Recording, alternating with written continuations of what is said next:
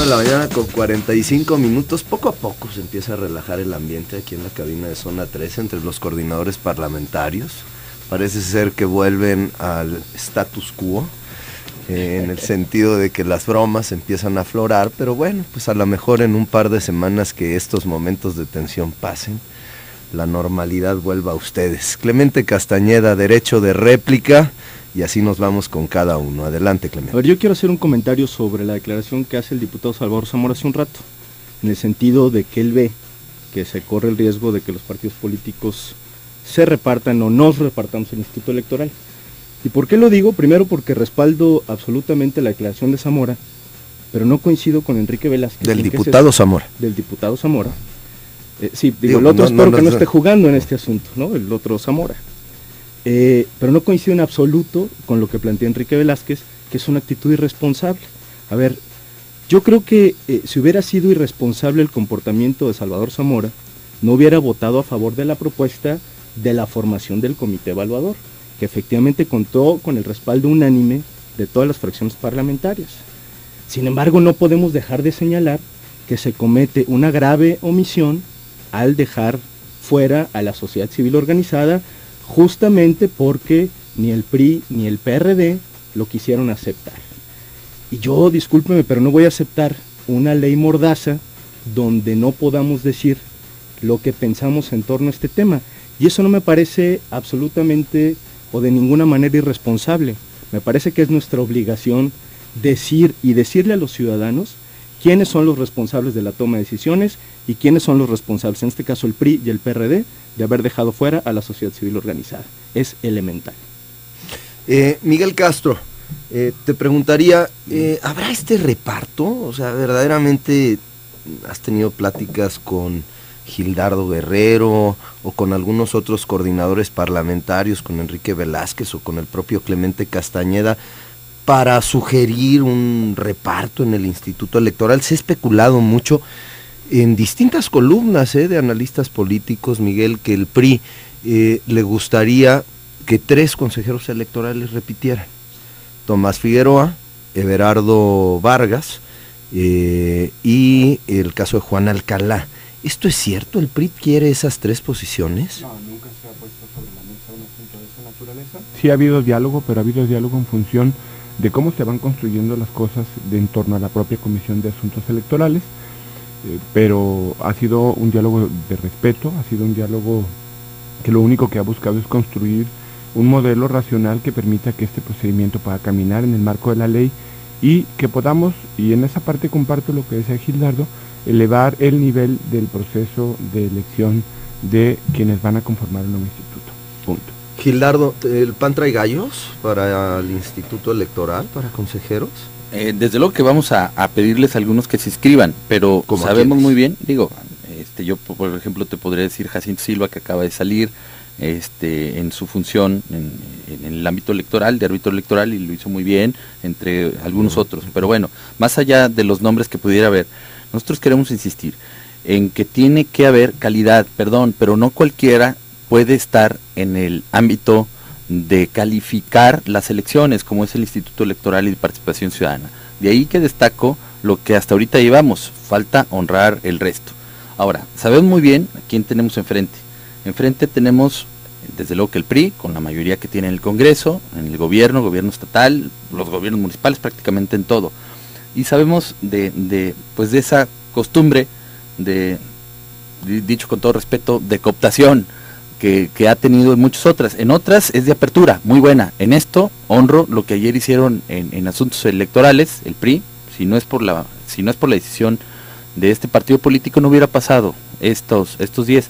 Falta el seguir coronando poner la cerecita en el pastel para que sea un, auténtico ejercicio ciudadano.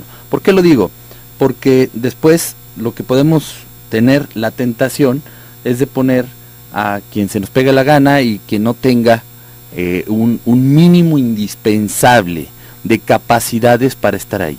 Sí tiene que haber consensos entre los, los, las realidades políticas y entre la, sociedad civil organizada para que quien esté al frente del instituto electoral sea alguien digno que lo represente. Desde luego que no vamos a salir nosotros con el sonsonete ni queremos estar ahí este, como racas criticando todo lo que sale.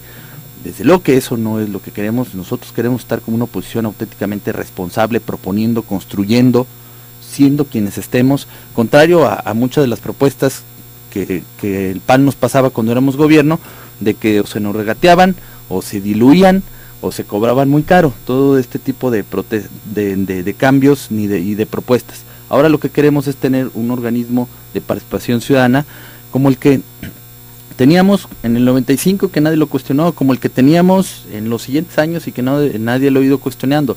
Desde luego que ahora estamos ante una, una realidad diferente, donde pues el primer tema era eso, justamente la esposa del árbitro electoral que participa ahí en, en, en, el gobierno del Estado, un diputado del PAN cobijado con comisiones del PRI, esa tentación cooptadora es grande y sabemos que tenemos enfrente y que en el PAN no lo vamos a permitir. Bueno, a ver, ya apuntamos a Jacinto Silva como otro candidato para poder entrar al Instituto ah, Electoral y de uno que se va a inscribir, ¿eh? Seguramente se va a inscribir, por lo que estamos escuchando. Ahora, recuerdo en una plática que tuve con Rafael González Pimienta, hoy diputado del PRI, entonces presidente del PRI en Jalisco, acerca de cómo podríamos hacer para ciudadanizar al Instituto Electoral y de Participación Ciudadana.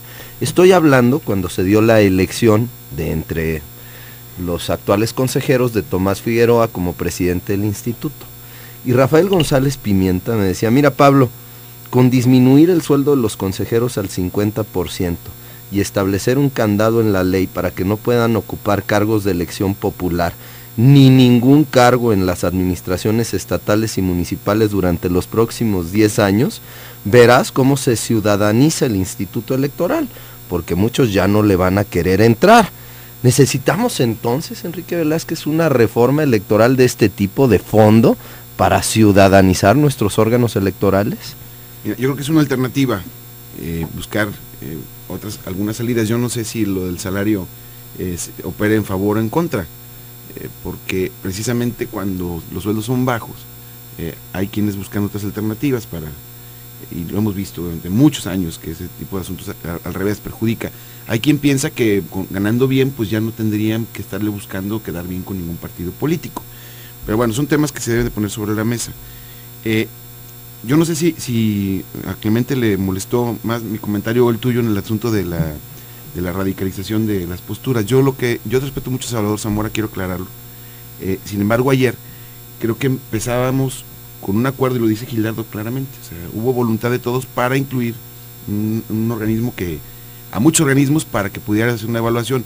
Lo único que yo señalaba es que no podemos decir, o es mi propuesta o no es ninguna, o todo está mal. Ahí la quiero, la quiero dejar. Pienso que, que la, la fórmula mejor para que tengamos un instituto electoral confiable es cuidar los perfiles, la trayectoria, pero particularmente que no pertenezcan eh, a ningún partido político, que no sean parientes de nadie de ningún partido político, para encontrar eh, equilibrios.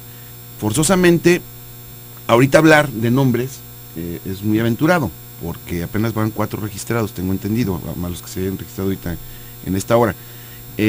sin embargo, una vez que estén todos los registros, creo que podremos empezar a, platicar los nombres y yo creo que las entrevistas, una cosa es el proceso con, los organismos de la evaluación y un asunto muy importante va a ser el tema de las entrevistas que tendrán cada uno de los aspirantes con la comisión electoral. Esa parte del procedimiento, más la evaluación, creo que nos puede permitir un resultado eh, que le dé certeza a todos los consejeros. No se trata de repartición, sino que cada uno de los perfiles, creo yo que así lo debemos de hacer, sino cada uno de los perfiles genere confianza en la ciudadanía y también en el Congreso. Última pregunta de un minuto a cada uno.